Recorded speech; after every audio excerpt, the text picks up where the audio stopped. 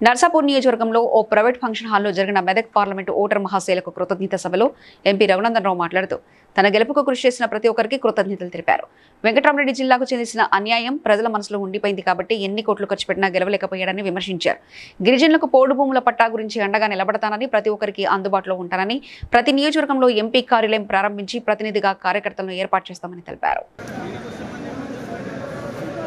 అందరికీ సఫిషియెంట్గా పోయిన వందల కోట్లు ఓటుకు వెయ్యి ఇస్తే కూడా టిఆర్ఎస్కి మనకి తేడా అంత కొడితే రెండు వేలు కూడా లేదు.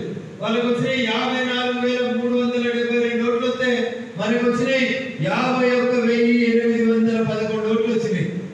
ఎమ్మెల్యే గారు మాజీ ఎమ్మెల్యే గారు మంత్రులు వెంకటరామరెడ్డి గారు హరీష్ రావు గారు చంద్రశేఖర్ రావు గారు ఇంత మంది వచ్చి సభ పెడితే కూడా మనకి ఎవరు పెట్టింది మనం ఎవరు పెట్టలేదు మనమే బకపస్తులు ఎక్కడెక్కడ కష్టపడితే దగ్గర దగ్గర యాభై రెండు వేల ఓట్లు పెట్టి తెచ్చుకున్నాం. అంటే ఏమర్థమైంది మీకు?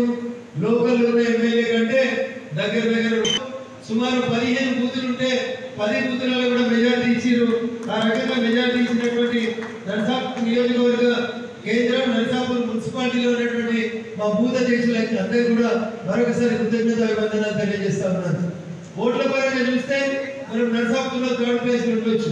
కానీ మనం మనం కొట్లాడినటువంటి విధానం మనం పోరాడినటువంటి విధానం మన కార్యకర్తలు ఎక్కడ కూడా వెనుకకి పోకుండా ఎక్కడ కూడా అధైర్యపడకుండా గెలుస్తామంటే బరాబరి గెలుస్తామని నేను ఎప్పుడు కలిసినా అదే మాట చెప్తుంది చాలా మంది సాటిపోయి నమ్ముదురు ముందుకు ఇష్టం ఉన్న Please like and share, subscribe to BCN Telugu News.